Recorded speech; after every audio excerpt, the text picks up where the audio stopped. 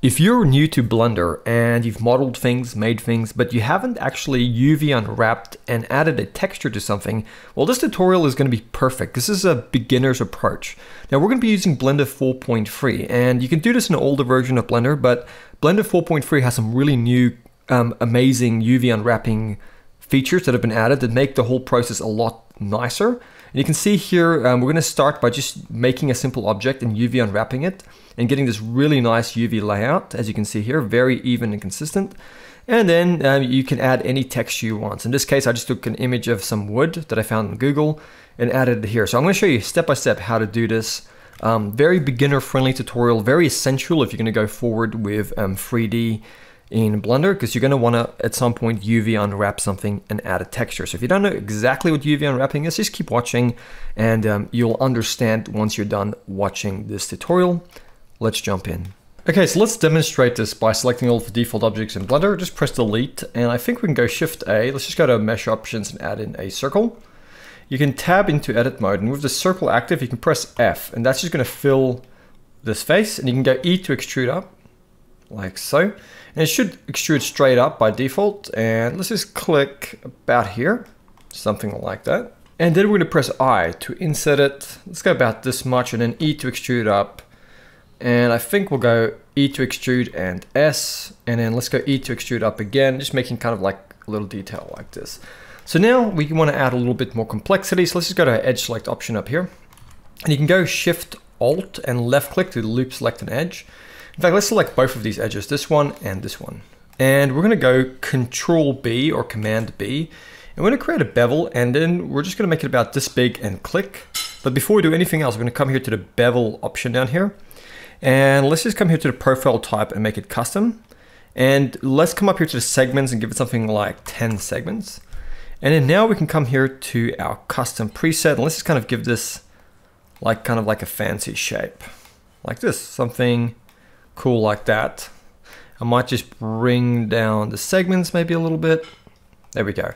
Okay, now with that done, I'm gonna go ahead and I'm gonna select this edge and this edge, I'm gonna go Control B and it should use the same profile. I'm gonna make it just a bit smaller and maybe these two inside edges here. We're just really making a shape here, to be honest. That's all we're doing. Okay, let's just press A to select everything, go Alt and let's just recalculate the outside normals just to make sure it's all good. And now we have a complex object here, sort of, with a lot of intricacy and detail that we can go ahead and um, UV unwrap. So what we're gonna do, we're gonna go over to our UV editing settings here.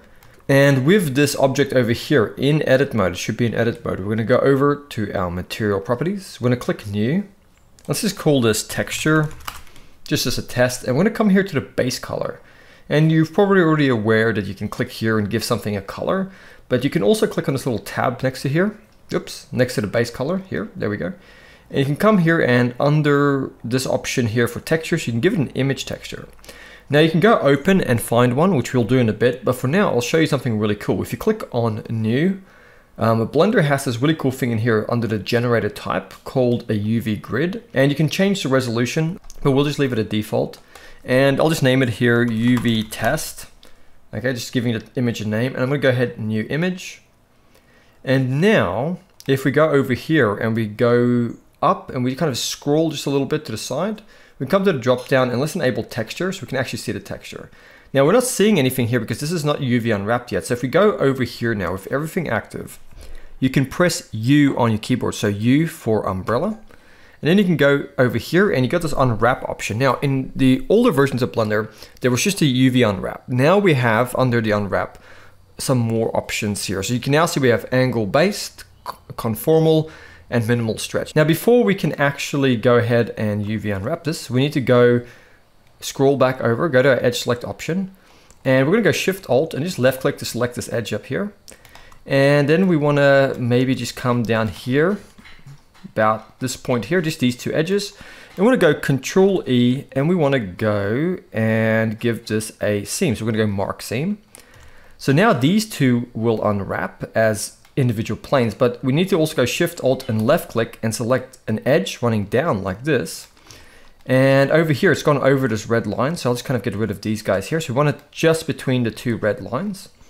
Okay, and then we're gonna go control E and we're gonna mark a seam. And essentially the seam here is going to allow it to cut in these areas, so to speak. So if we now press A to select everything, and we go U for unwrap, and we go to unwrap here, and let's just go maybe with the angle based, you can see now it unwraps it. How cool is that? Okay, so you can see over here, and we can also see the texture here being displayed because we enabled the texture view.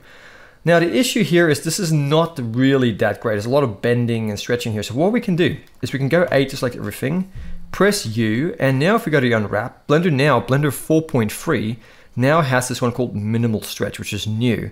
And that's really what's gonna make this awesome. So we go minimal stretch, all of a sudden you can see here, it does a much better job.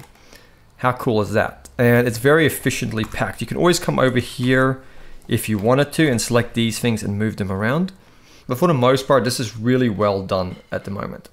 So now we have a nicely unwrapped object. It's very easy. So I hope you understand now as a beginner how to unwrap and, um, you know, like do add a texture. So now that you have that done, at any point, this is the fun part. You can come over here to your material tab.